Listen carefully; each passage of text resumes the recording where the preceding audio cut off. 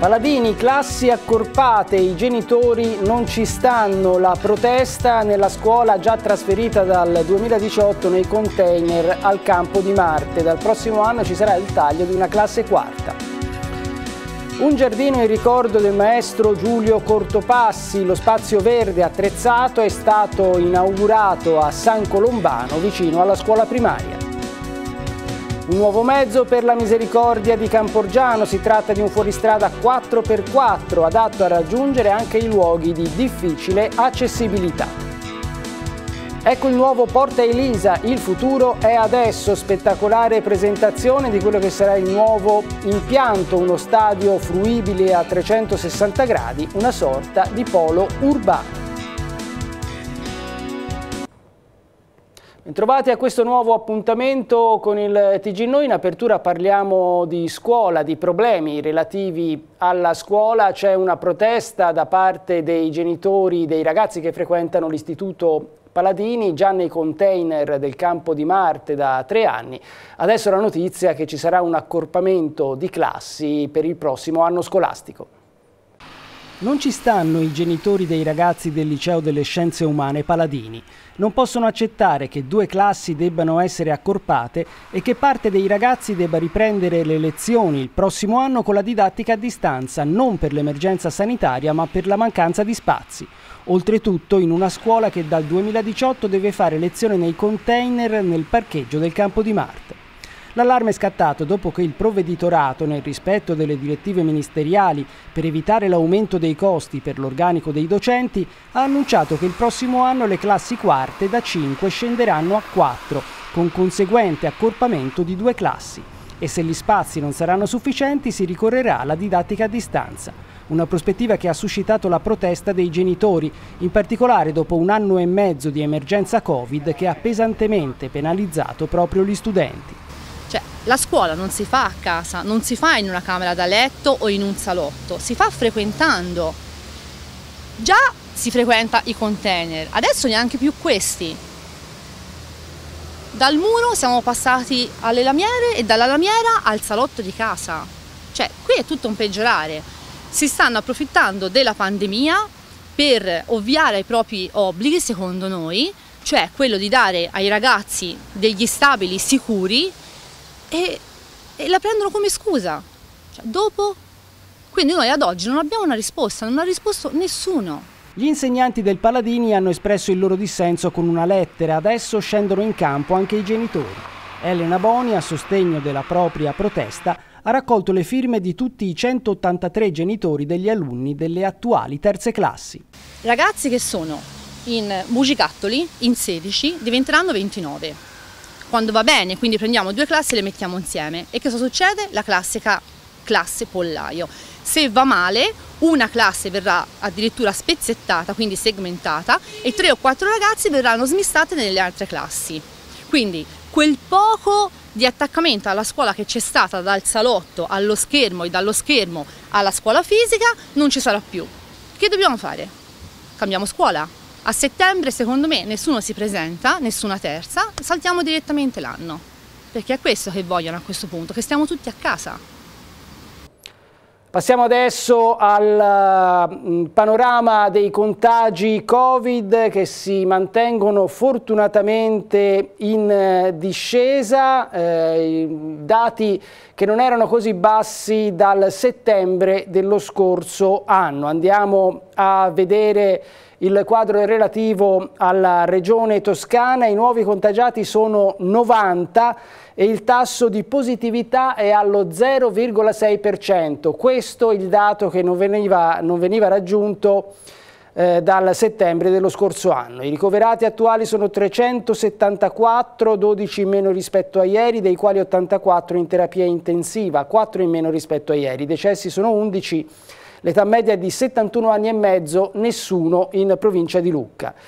Il quadro provinciale, i nuovi contagiati sono solo 4, tutti nella eh, città di Lucca, eh, nessun nuovo contagiato in Valle del Serchio e in Versilia e ci auguriamo che la tendenza rimanga questa.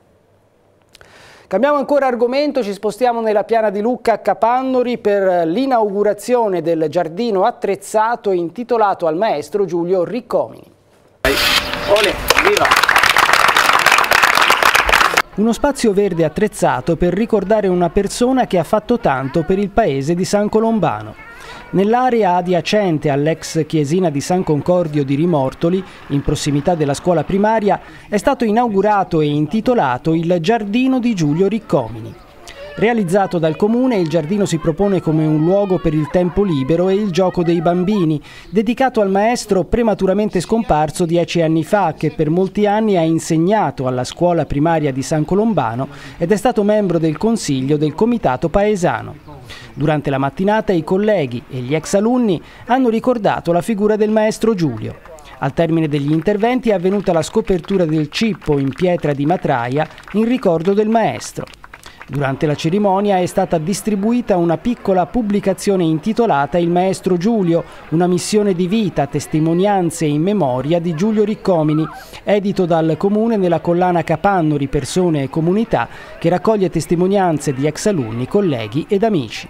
Ma intanto l'inaugurazione di un parco è sempre una festa importante perché è un luogo per la comunità, un luogo di incontro, un luogo di crescita, un luogo di ritrovo dove la comunità appunto si aggrega e cresce. E accanto all'inaugurazione del parco c'è l'averlo voluto dedicare ad un maestro, a Giulio Riccomini, che ha fatto un po' la storia di questa frazione, di questa scuola che teneva molto al recupero della chiesina del 1100 ma che è stato una persona molto impegnata sul fronte civile a vari livelli e quindi è giusto che la comunità, è giusto che il comune ricordi le persone che hanno contribuito alla propria crescita. Andiamo in eh, Garfagnana per eh, la notizia che eh, sarà donato un nuovo mezzo fuoristrada alla Misericordia di Camporgiano, una notizia importante in un territorio a volte difficile come quello della Garfagnana. Vediamo il servizio di Luca Galeotti. Tra coloro che hanno partecipato e beneficiato del bando 2020-21 della Fondazione Cassa di Risparmio di Lucca, dedicato alle categorie sociali deboli e alla salute pubblica, c'è anche la Misericordia di Camporgiano che ha ottenuto 20.000 euro quale contributo per l'acquisto di un mezzo 4x4 funzionale a raggiungere e supportare un maggior numero di persone, soprattutto anziani residenti in luoghi isolati. La sede della Misericordia di Campogiano è stata visitata alcuni giorni fa dal presidente della Fondazione Marcello Bertocchini. A fare gli onori di casa il governatore Sergio Orlandi, che ha guidato Bertocchini alla scoperta di tutta la struttura, che vanta circa 150 volontari attivi e rappresenta un punto di riferimento importante non solo per la Garfagnana, ma anche per tutta la Valle del Cerchio e che offre anche i suoi servigi con un mezzo al 118. Bertocchini è rimasto molto colpito dall'organizzazione e dallo spirito che anima questo sodalizio. Soprattutto fa soddisfazione riuscire a contribuire a far sì che la cosiddetta sanità territor territoriale, molto importante soprattutto ora in, questa, questo momento di pandemia, eh, riesca effettivamente a venire incontro a quelle che sono le esigenze del territorio e da quello che abbiamo potuto vedere oggi qui, quello che ci è stato ra raccontato, la funzione delle associazioni come le Misericordie sul nostro territorio è veramente insostituibile. Grazie dunque anche e soprattutto al contributo della Fondazione, a breve la Misericordia potrà dunque aggiungere al suo parco mezzi anche un veicolo 4x4 perfetto per raggiungere luoghi impervi. Grazie a questo contributo verrà acquistato a breve un SUV, un mezzo per la protezione civile che ci permetterà di essere ancora più efficienti, preparati, pronti e avere il giusto e necessario per, per, intervenire laddove ci sarà bisogno. È una spesa notevole per questo mezzo, ma grazie a questo contributo a breve l'avremo e avremo il piacere di invitare il Presidente alla inaugurazione ufficiale di questa donazione che con, con piacere abbiamo accettato e ringraziamo di cuore. Torniamo a Lucca perché prende il via la raccolta di fondi promossa da Unicoop per il restauro del tempietto del Nottolini. Prende il via il crowdfunding Abbraccia l'acquedotto del Nottolini, promosso da Unicoop Firenze e dalla sezione Soci Coop di Lucca per sostenere il restauro del tempietto di San Concordio. L'iniziativa si pone non solo l'obiettivo della riqualificazione del monumento, ma anche quello della partecipazione con una serie di collaborazioni ed eventi per far conoscere ai lucchesi e non solo l'importanza dell'opera di Lorenzo Nottolini. Come si svolgerà la raccolta di fondi lo ha spiegato Daniela Mori, presidente del Consiglio di sorveglianza di Unicoop Firenze. La nostra sezione soci sul territorio eh, organizza eventi, attività, iniziative eh, attraverso le quali far conoscere quest'opera, raccogliere fondi. Lo faremo anche attraverso i nostri supermercati. Quello che le persone metteranno a disposizione sarà raddoppiato dalla nostra cooperativa è un modo per intervenire su un'opera che è identitaria per Lucca e per farla in qualche modo partecipare a tutti i cittadini. Lucchesi e non solo, perché poi le visite intorno all'acquedotto saranno eh, rivolte anche ai non lucchesi, quindi ai cittadini toscani. Fra le attività, Unicoop organizza le camminate urbane, in programma dall'11 giugno al 19 settembre, con ritrovo e partenza in piazza Antelminelli, presso l'ingresso dell'auditorium della Banca del Monte. Il percorso toccherà tutte le fontane monumentali progettate da Nottolini fino a raggiungere il tempietto di San Concordio, un percorso particolare nella Lucca del 1800 assolutamente da non perdere. Spostiamo a Pietrasanta, Comune, Regione e Ministero uniti per la fondazione che gestirà il Museo Mitorai. Anche la Regione Toscana, insieme al Ministero della Cultura e al Comune di Pietrasanta, sosterrà il Museo Mitorai e la fondazione che dovrà gestirlo. Firenze è pronta a contribuire con quasi 2 milioni di euro per arrivare all'apertura della struttura che sorgerà al posto del vecchio mercato coperto. Di questo si è parlato in un incontro in diretta Facebook organizzato e promosso dal Partito Democratico di Pietrasanta che ha coinvolto, accanto agli esponenti locali, il Presidente della Regione Eugenio Giani e il Ministro Dario Franceschini che nel 2016 aveva messo a disposizione 2 milioni di euro alla loro amministrazione Mallegni per realizzare il museo con le opere donate dalla famiglia del celebre artista in questo progetto molto ambizioso eh, per recuperare un, un, immobile. Io ho visto il rendering che potrà diventare molto, davvero molto attraente e adatto alla maestosità delle statue di Mitorai. Bisogna che sia un grande progetto nazionale, su questo stiamo lavorando, stiamo concludendo gli atti per la fondazione, adesso abbiamo dovuto rallentare un attimo proprio per consentire a pieno titolo l'ingresso della regione, insomma io credo che il percorso arriverà a compimento in fretta, quindi l'idea è di andare avanti parallelamente, il progetto da una parte che sta seguendo la realizzazione, come sapete la sta seguendo il comune, e il, il, reali- invece il progetto museale vero e proprio. Insomma io credo che potrà diventare una grande cosa, che sarà un modo non soltanto di onorare la memoria del grande Mitorai, ma anche un modo per rendere Pietrasanta quello che le si deve. Ad allargare di recente il quadro istituzionale alla regione è stato proprio il ministro, come ha affermato il governatore Giani. Io naturalmente questo l'ho accolto a braccia aperte. Certo, comporterà un impegno di spesa eh, che abbiamo concordato fra il milione e mezzo e due milioni, però eh, io ho già verificato, possiamo fare eh, la variazione di bilancio e inserirla perché è un arricchimento e un patrimonio per tutta la Toscana. Intanto slitta in avanti la consegna dei lavori della struttura. Prevediamo l'apertura entro l'inizio dell'estate 2022, spiega l'assessore lavori pubblici Matteo Marcucci. Sono in corso ulteriori approfondimenti sul piano strutturale, in particolare particolare in materia di adeguamento sismico, che hanno rallentato i lavori. L'obiettivo, afferma l'assessore, è fare dello stesso museo un monumento che sia attrattivo per i visitatori. Al liceo classico Machiavelli di Lucca si è tenuto un incontro letterario dedicato a Giovanni Pascoli, durante il quale è stata ricordata la figura del professor Vincenzo Placido, recentemente scomparso. Placido, autore del saggio romanzo Zvani, il fanciullino di casa Pascoli, era legato all'Istituto Civitali per i lunghi anni di insegnamento e vicepresidenza.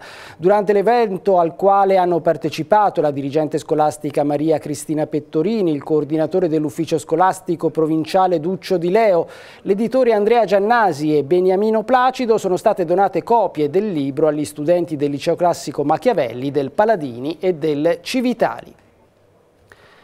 Ancora a Lucca per la presentazione del Festival della Sintesi che si terrà il prossimo luglio. 12 appuntamenti nello spazio di 8 giorni.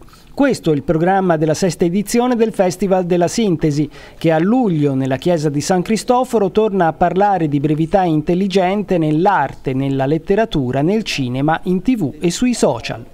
Promosso dall'associazione Dillo in Sintesi con il sostegno delle fondazioni Cassa di Risparmio e Banca del Monte, del Comune di Lucca Promos e con il patrocinio della provincia, il festival è stato presentato in San Micheletto alla presenza del suo ideatore Alessandro Sesti.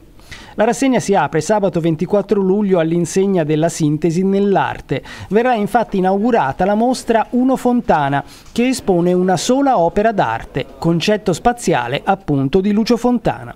Poi il via agli appuntamenti con tanti personaggi, dall'attrice e scrittrice Lella Costa al disegnatore Sergio Staino fino al virologo Fabrizio Pregliasco.